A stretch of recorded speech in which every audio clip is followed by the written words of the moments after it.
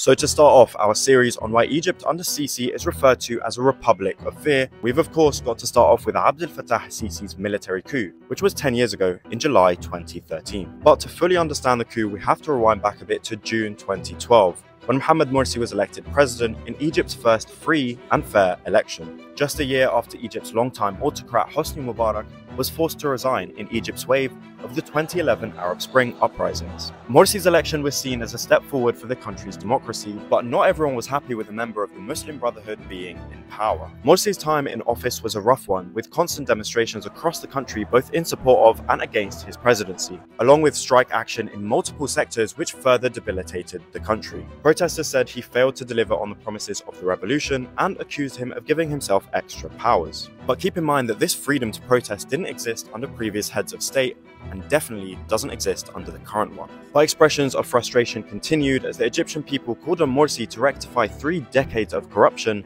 left behind by Mubarak. And then opposition activists called for early elections one year into Morsi's term, despite an Egyptian presidential term being four years. Protests and demonstrations intensified in mid-2013, leading up to a large anti-Morsi protest on the 30th of June. On the 23rd of June, Morsi was advised to leave the presidential palace for his own safety by the Republican Guard, General Mohammed Zeki at the time, who's actually tasked with protecting the president. Zeki later turned out to be Sisi's right-hand man in orchestrating the coup. And it was in this context that Sisi's coup emerged. He posed an ultimatum to Morsi on July the 1st, either you satisfy the public's demands within 48 hours or the military steps in. On July the 3rd, 2013, after rejecting Morsi's propositions, Sisi announced the military was taking over the country and detained the president. Although it came as a surprise to Morsi, it later emerged that the coup was being planned for several months in advance. Soon after, thousands of Egyptians took to the streets to celebrate Morsi's removal, whilst his supporters called for his return to office and his freedom.